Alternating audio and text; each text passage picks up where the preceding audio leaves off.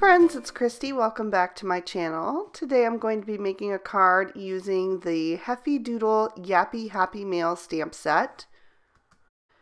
I've stamped my images out on some Copic friendly cardstock with Memento Tuxedo black ink since I'll be coloring with my Copic markers today. I'm starting with the dog, and for her I'm using C5, C7, and C9. I wanted to make a black dog since that's what my dog is. And so I'm starting with that C9 and laying in some shadows. Using some dark grays are going to give you the look of a black dog without, um, you know, losing any of the features. If you were to just color it completely black, you know, you wouldn't be able to see the eyes or the nose or any of the details. So using some dark grays is going to accomplish that, but there'll still be some depth and dimension to her and her features will still be recognizable. So I'm blending out the C9 with the C7, just kind of taking that color out a bit and making sure that I have a nice soft blend. And then I'm going to fill in the rest of the dog with the C5. As I mentioned, I'm coloring this dog to look like our Zadie. She's a flat-coated retriever that we rescued from our local shelter, and we've had her for a good long time. She's about 14 years old, so she's an old girl, but we love her to pieces.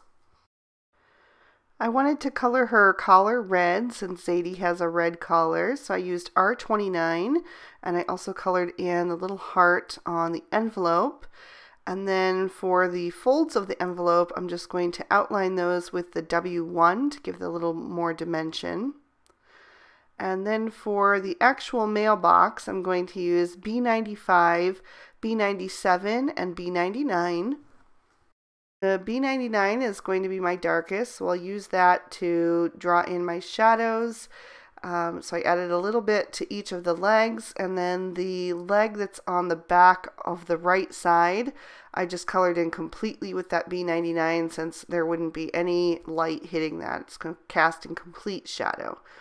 And then I'm just going to add a little bit of shadow to each of the panels of the mailbox.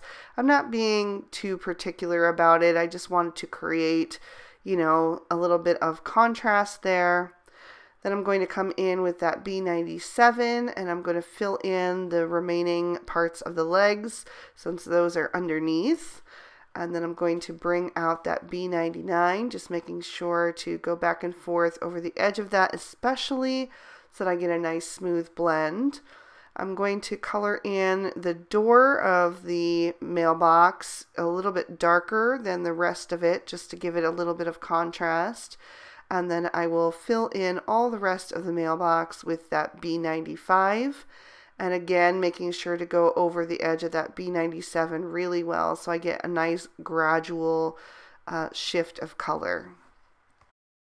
I wanted to use the other two envelopes to add some pops of color on the card, especially since I always send out my cards in colored envelopes.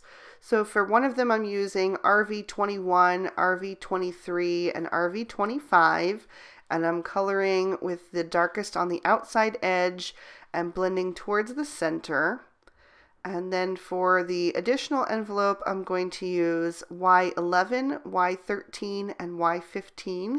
And I'm coloring that in the exact same way with the darkest on the outside, the mid-tone is going to pull that color towards the center and then I'll fill in with my lightest shade.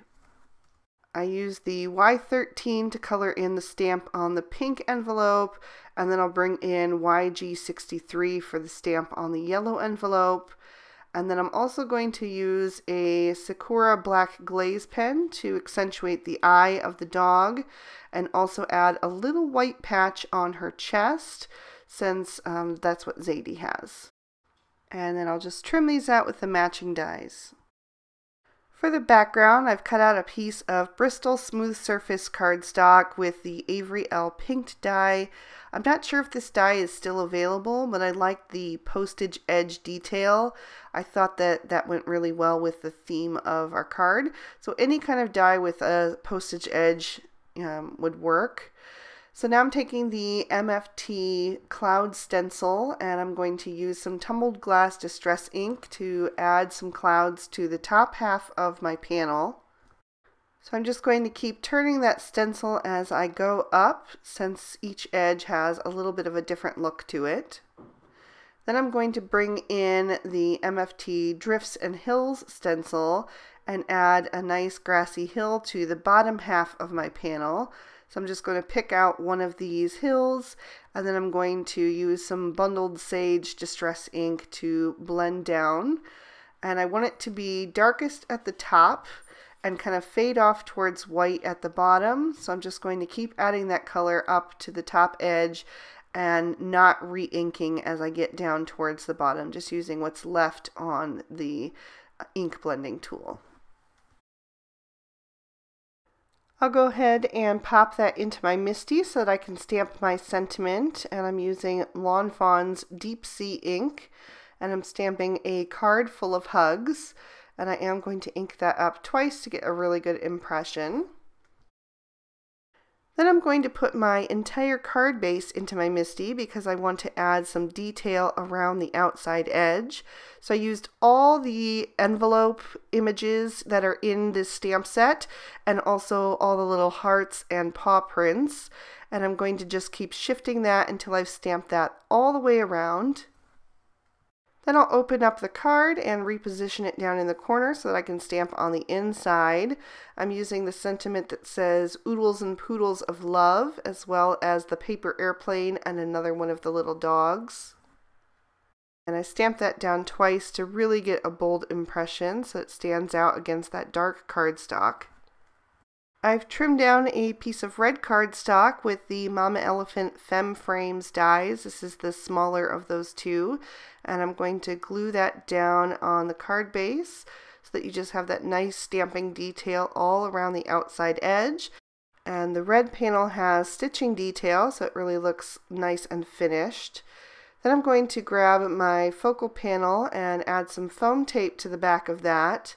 I'll peel off those backer sheets and go ahead and position that in the center of the card. I used the Heffy Doodle sending die to trim that out of some red cardstock, so I'm going to carefully pop that out and add some liquid glue to the back of that. I'm using the Lawn Fawn glue tube just because it has a very thin nozzle so it's easy to add little dots of glue especially on the thinner parts of that die cut. Then I'm going to pick that up and center on the card right above the stamped sentiment.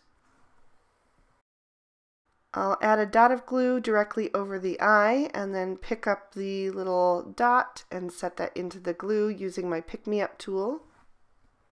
And then I'm ready to adhere my other elements. I'm going to go ahead and open up the little flap of the mailbox since the die does cut that out for you. And then I'll be careful not to add any glue behind that as I position it at the top of the hill. Then I'll add the little dog so that she's kind of standing with her paws on top of the mailbox so that she's going to look like she's trying to mail a letter. I'm going to put the letter with the little heart on it right underneath her muzzle so it looks like she's clutching it in her mouth. And I glued the other two envelopes together so I had them just how I wanted them and tucked the corners into that opening. And that is going to complete our card for today. There's another peek at the inside. I really love the sentiment of this. I think it really speaks to the entire purpose of card making. I've always said it's about putting love on paper and giving it away. So I hope you guys enjoyed the video. If you did, please be sure to give it a thumbs up and subscribe to my channel if you haven't already. I would love to have your support. Here's two extra videos I thought you might also be interested in, so hopefully those will tide you over until the next one. Until then, I hope you all have an amazing day. Bye-bye.